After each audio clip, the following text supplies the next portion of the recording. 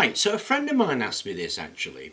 We've been playing around making welders and arc furnaces and almost universally for the welders we've been using this stuff which is welding rod obviously and for the arc furnaces we've been using these things which is uh, which are carbon rods. Now these carbon rods they're dead easy to get hold of all you really need to do is crack open one of them in there you'll see four cells just pull these out of the center of the cells and you'll have four of them so they're dead easy to get hold of.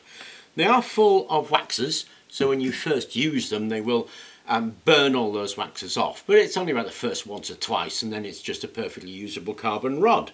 But anyway, he asked me, okay, you can use the carbon rods in the furnace, can you use them to weld? And I thought, well, that's actually a really interesting question. And it led to this, which is, probably the simplest welder you're ever going to be able to build and it's just so simple there's hardly anything to it what I've got here is a 12 volt battery and then a couple of jumper cables we attach the positive to the positive obviously negative to the negative and then we're actually pretty much ready to go we can hold that with the, the carbon rod in there just holding it like that uh, I think that's a little bit unfirm, so to speak. It's better than trying to hold a welding rod, but still a little unfirm, but you can do it.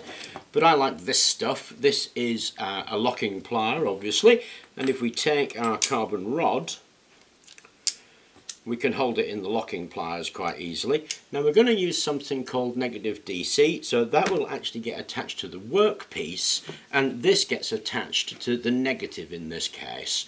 We pop that on there, that's ready to go.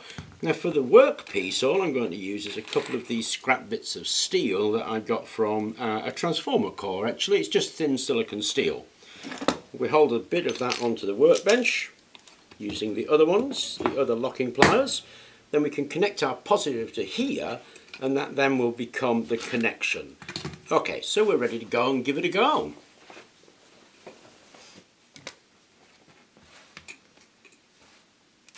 Oh.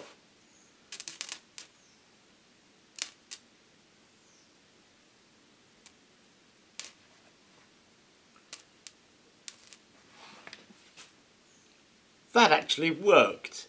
Okay, so uh, let's give you a close-up of that. So there's the bit we just welded. it's amazing. Okay, it's kind of put a spot weld on it actually, right, right there. But that's welded together. Let's give it another go with another bit.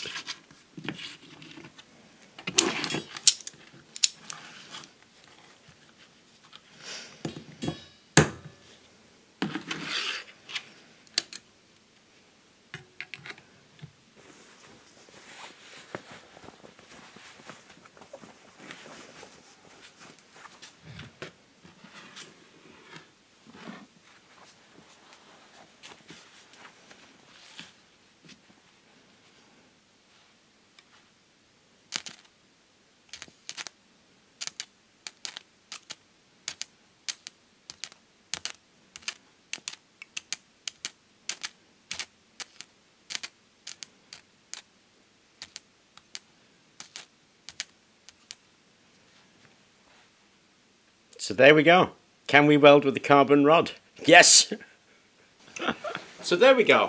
Probably the simplest welder you could ever build and yes, a carbon rod welds and actually it does a pretty good job. That's very cool. Anyway, I thought I would share that with you. I hope you enjoyed the video and thank you very much for watching.